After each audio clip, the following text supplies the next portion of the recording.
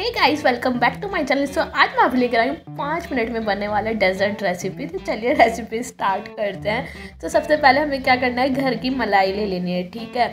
और यहाँ पे ना मैंने कुछ ड्राई फ्रूट्स कट कर लिए हैं, जैसे कि बादाम, अखरोट और पिस्ता। आपके पास जो भी नट्स अवेलेबल हो, आप वो डालें। यहाँ पर मैंने कंडेंस मिल्क ले लिया है। तो हम मीठे के लिए यहाँ पर कंडेंस मिल्क डालेंगे। आप शुगर भी ऐड कर सकते हैं, ठीक है?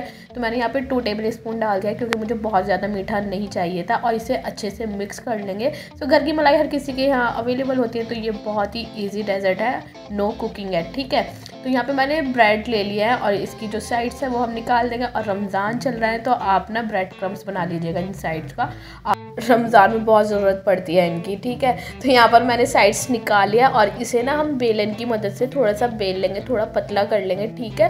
ताकि रोल हमारे अच्छे से तैयार हो। तो ये मलाई रोल बहुत बहुत बहुत ज़्यादा डिलीशियस है। ट्राई ज़रूर करिएगा, ठीक है? तो यहाँ पर ना स्प्रेड कर दी है मैंने। ब्रेड को थोड़ा पतला पतला कर दिया है और जो मलाई वाला हमारा वो था ना मिक्सचर वो ऐड कर देंगे और ये ना बहुत अच्छे से ऐड करना है इस पर क्योंकि इसी से हमारी ब्रेड जो है ना सॉफ्ट होगी। तो हमें बिल्कुल हल्का हल्का नहीं लगाना है, अच्छी क्वान्टिटी में लगाना है, ठीक है? और सिंपल इसे रोल कर लेंगे, बहुत ईजिली हो जाएगा, कोई इसमें झंझटबाजी नहीं है।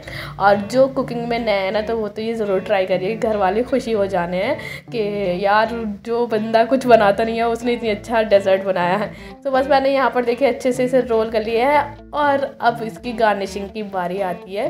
कुछ भी नहीं है यार इसमें कुकिंग में कुछ भी तो ये जो है ना कंडेंस मिल्क तो मैंने इस तरीके से ना थोड़ा थोड़ा निकाल कर इसे स्प्रेड कर दिया ताकि थोड़ा अच्छा लुक आए और टेस्ट भी अच्छा है टेस्ट तो अच्छा आएगा क्योंकि कंडेंस मिल्क का टेस्ट बहुत अच्छा है तो इस तरीके से स्प्रेड कर दिया है। और जो मलाई में मैंने ड्राई फ्रूट्स ऐड किए थे ना तो वो मैंने थोड़े से बचा थे यार डेकोरेशन के लिए। डेकोरेशन बहुत ज़्यादा इंपॉर्टेंट है।